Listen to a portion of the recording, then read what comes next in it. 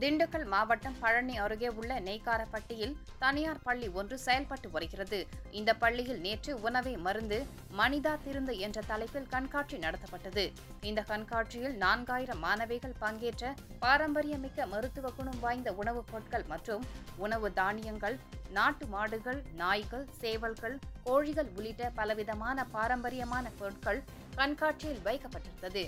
இந்தியாவில் உள்ள அனைத்து மாநிலங்களின் மக்கள் அவர்களின் உடை உணவு மற்றும் கலாச்சாரம் ஆகியவற்றை விளக்கும் வகையில் மாணவ மாணவிகள் வேடமிட்டு இருந்தனர்.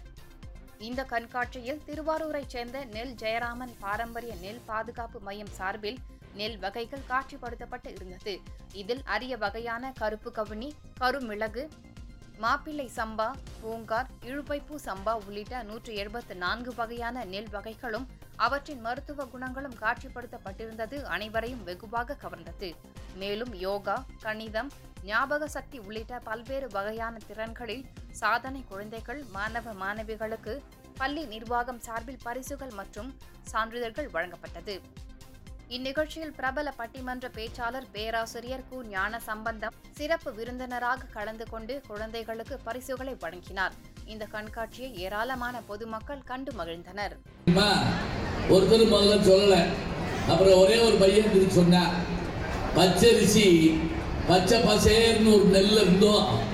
புழுங்கரிசி லைட் எல்லோ கலர்ல இருந்து வருதுன்னா இந்த பாருங்க நெல்லை அறுவடை பண்ணி எங்க வந்திருக்க பெண்கள் இன்னொன்று சொல்லுங்க பார்ப்போம் சில சமயம் வீட்டில் வையிறப்ப ஏய் குந்தாணி இங்கே வா அப்படிங்கிறான்.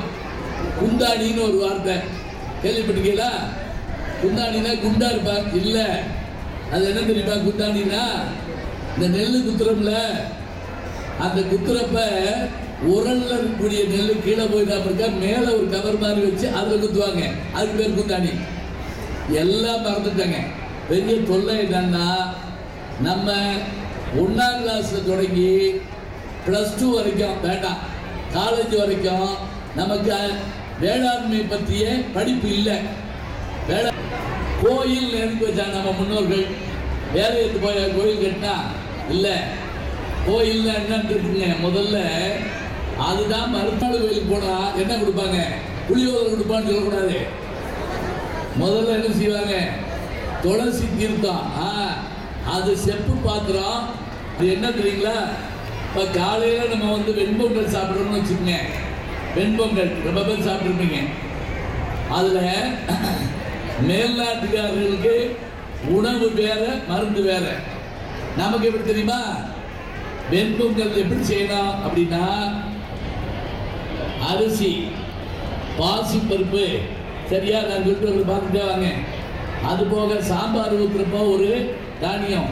மொத்தம் மூணு தானியம் அதில் வந்துடுது ஒரு அரிசி ரெண்டு பருப்பு இது போக மிளகு சீரகம் தேவையான முந்திரி பருப்பு. இதுக்கு மேலே நெய். இப்போ இந்த பாட்டில் சொன்னாங்க.